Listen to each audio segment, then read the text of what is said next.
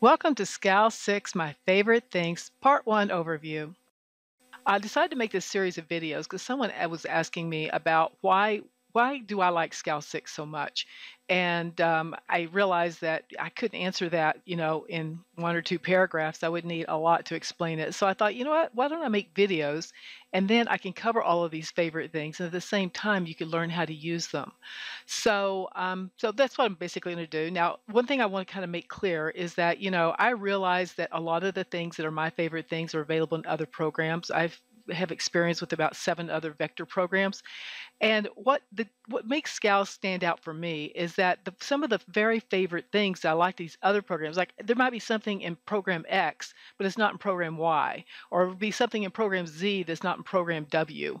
You know what I mean? And so what I realized is that after you know using all these various programs over the years, I ended up coming back to SCAL 6 and going, or coming back to SCAL because there's I've been with using SCAL back since um, uh, version three, was that it has the, all the things I really need. And some of the things I like in SCAL are deal breakers for me. I can't use another program because now that I've had experience with a particular function, I need that function. You know what I mean? I don't want to go backwards.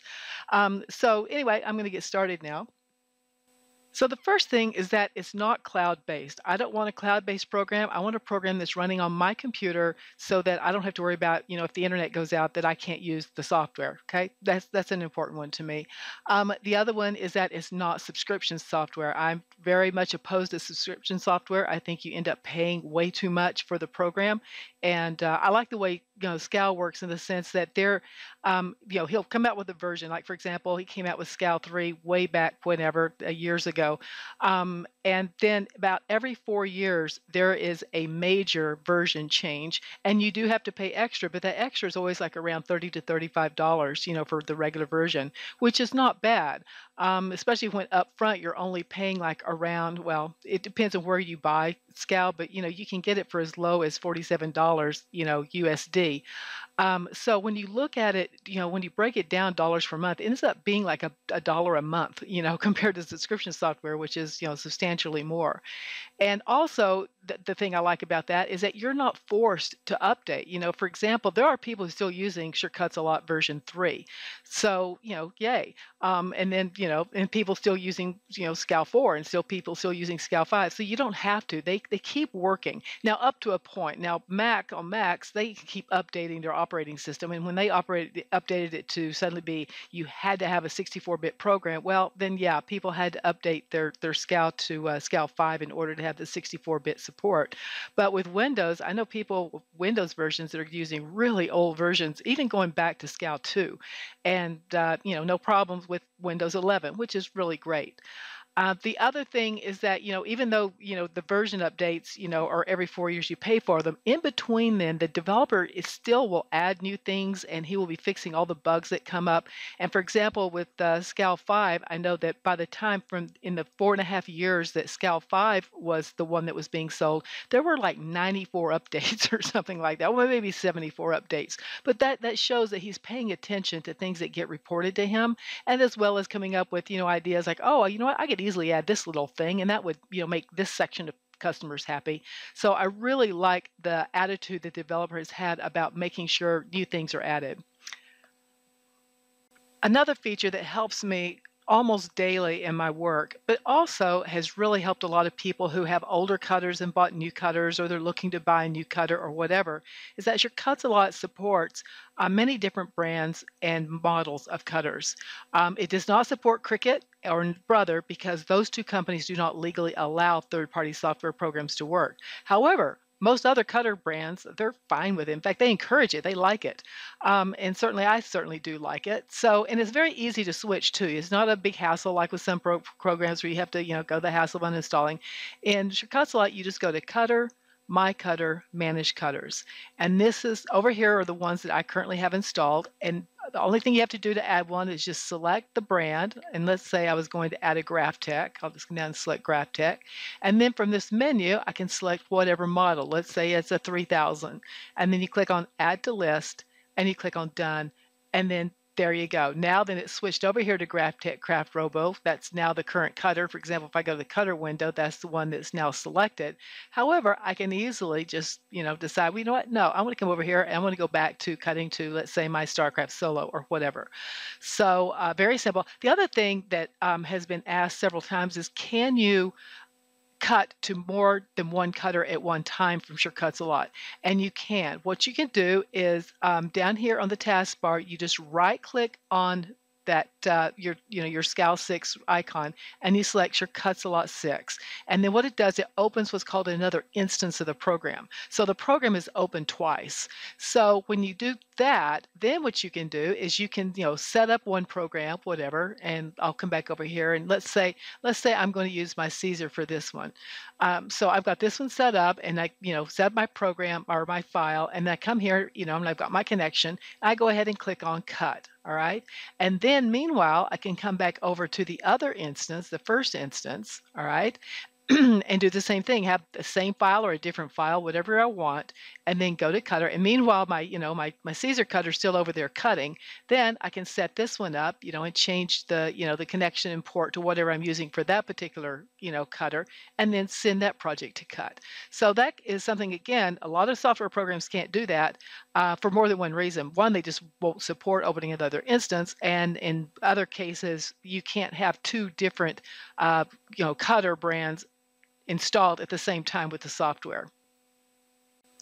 So another deal breaker, not just for me, but for actually a lot of users, is the ability to export as SVG file so that you can share it with others or move it to a different program or whatever it is you want to do. And of course, that's definitely possible. Um, but I also wanted to cover just how, much, how many other file formats you can work with um, in the software. So if you go to File, Place Image, this is how you would bring in a raster uh, image. And you can see in this drop-down menu that these are the ones it supports. You know, there's uh, you know five different uh, raster formats. And of course, the two biggies, JPEG and PNG, are there. Now then, you'll notice that the PNG is here. And now the PNG file, if it has a transparent background, then instead of using file place image, you probably want to use file import because when you do that, then it brings in um, the the cut lines. It automatically places the cut lines wherever the transparency of you know matches up with the initial pixels of the of the design. So so you have two ways you can bring in a PNG file. But also under this file import, you'll see all these other formats. This is where all of the the uh, the vector formats are located. I wanted to point out, of course, PDF is there. That's a, a fairly common one. Same, so is EPS and AI, and of course the SVG. But the ones that are sort of um, kind of stand out as being different from other programs um, are the MTC, which is the Make the Cut files. This is the only program I'm aware of besides the original Make the Cut, which is now abandonware, that can bring in these files. And there are so many users out there. You have no idea how many crafters use make the cut, and so now then they can you know bring in their MTC files into um, cuts a lot, as well as uh, the people who uh, do embroidery. There's all the embroidery formats. There's like ten different embroidery formats that are available here. There's also WPC, which is what the Pazzles uh, users, the Pazzle owners, what they always use with their software, which stood for WinPC Sign, and um, and uh, let's see, there's also for the brother, you can bring in uh, the brother files, which are the where the they those are the FCM files, which are right there, scan and cut FCM files. So lots of options for you. Uh, that I think that's uh, and of course GSD that those have been around a long time. So and then for exporting, uh, let's just grab something from the library here. Just grab one of the I'll do one for my friend Sandra, one of her designs. Let's just bring it in. If you wanted to export this, then your options are, let's go to File, Export and then select from the drop down menu, you'll see that uh, you have several different uh, raster formats, bitmap, JPEG, PNG, TIFF. You can also export, of course, this SVG. That's the biggie that you're looking for. And also, you know, if you have a brother uh, cutter and you want to be able to cut from Canvas, that software, then you can export as an FCM file. Again, Brother doesn't allow Scal to cut directly to one of their cutters, but you can export the design in their file format and open it. And then finally also PDF. So uh, lots of good options there.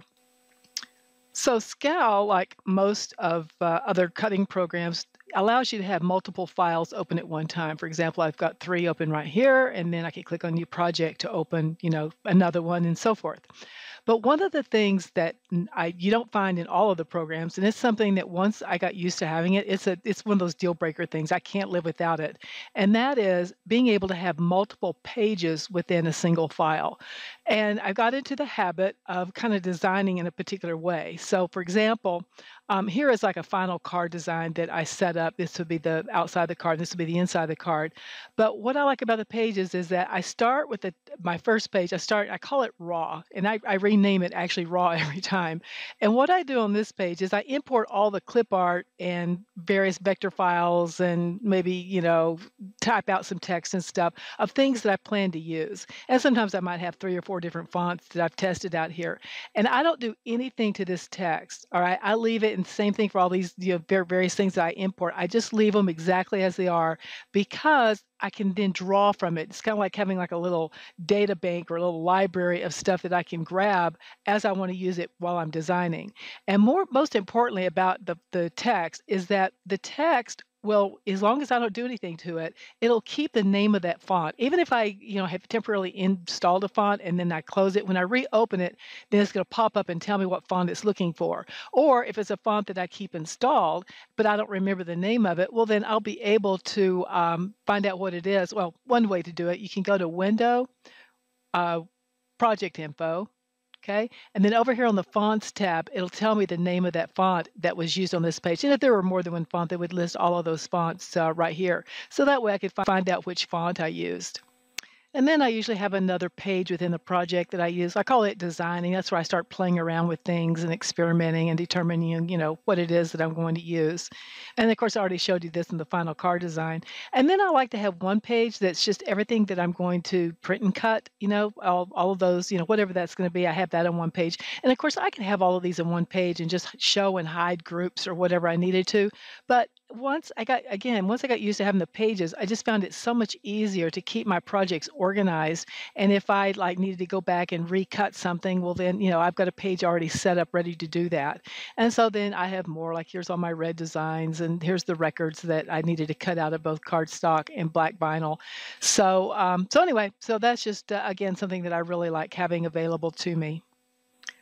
The preview function, which is located right up here at the top, is a really important uh, function to get in the habit of using before you cut, especially in print and cut projects. And I'll show you why. So I designed this, and these are supposed to be stickers that are on kind of like a background, um, you know, page or something that you would then, you know, be selling. So uh, the way it works is that I would want to cut just kind of kiss cut around the each one of these stickers and then fully cut all the way around the outside or perf cut as it's uh, commonly called.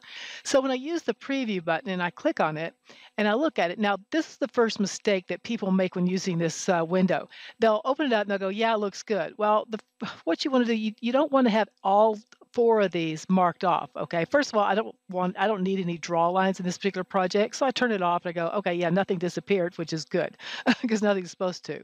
But I need to also, I'm going to turn off printable and I'm going to show off the score line. So I'm looking at only the cut lines. And when I look at that, I go, well, wait a minute. I don't want to cut out the word sea creatures words or you know by Mila's designs that's that's supposed to be print only so this helped me identify right away that, that I've got a problem here and then I'll come down and I'll turn on the show score lines and turn off the show cut lines. And I go, yep, that's correct. That's going to be the, uh, you know, the kiss cut that's done around the clip art. And then I can turn on show printable. And then you can see all of it. And if I turn both of these off, you'll see that I still see the sea creatures and the by Mila's designs, even though it's set to printable. It's going to print also because those particular layers I had left set to cut. So I need to fix that. So I come back over and I grab, you know, I find uh, wherever these uh, these two layers are, and they happen to be up here at the top, the by and I'm going to change that to print plus cut uh, print only. And sea creatures, the same thing, print plus cut print only, because I don't want to cut those out. Then when I come back to preview and I say show cut lines and I turn off show printable or show printable, now I have exactly what I want for my full cut. And I have what I want for my score lines. And then I can look at just the principal, the printable and say, okay, yes, that looks right for printable. And you'll notice that in this window, if you have a, a shape that you've added like text or you've added a circle or whatever, and it's set to show printable, it's going to show up um, as, a, as a black outline, just like it shows here. And the last thing that I want to cover uh, within this overview video is this uh, is going to the cut settings window. So when you click on Cutter and it opens the cut settings window, here are some of the things that I really like about how this window is designed. First of all, it's all here. I can't tell you how annoying it is to me. And some of these are pro vinyl software programs. When you go to, you know, set things up, you have to go to an entirely different function to set up your connection and to test it. You have to go to a different window to set up which cut mode you want to be in, whether you want to be in WYSIWYG or Origin Point. And by the way, Scal also supports Centerpoint, which is something you don't find um, available that often. And that can be very handy in certain circumstances when you want to center your design. Let's say you're engraving and you want to make sure your design is going to be engraved right in the center of that little you know, rectangular piece of acrylic or whatever. Very handy function. But anyway, so, you know, nice having that there. Your use software speed and force is right here available, whether you want to do your settings here or you want to do them on the control panel of your cutter. Um, if I was using a two-headed cutter, a dual head cutter, then right here I'd be able to pick left or right side that I'd then assign all of the settings to and, you know, which tool I want to use. That would be another line that would be present right here. Um, if you have the Pro version of Scal, then it has a series of tabs across here for all the extra features that are available in the Pro version. Again, you don't have to hunt and find them.